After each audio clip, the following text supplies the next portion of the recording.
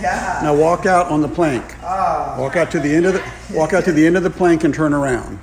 oh no, I don't want to. You got to go to the end and turn around. Don't play. Stop playing, Anthony. Nobody's going to touch you. You're safe.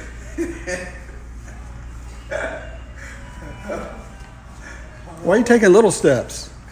Because I'm want to play. Don't play. He's sitting down at his desk.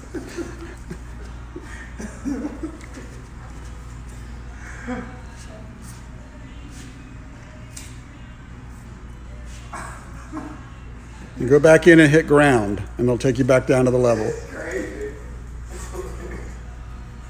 Other hand.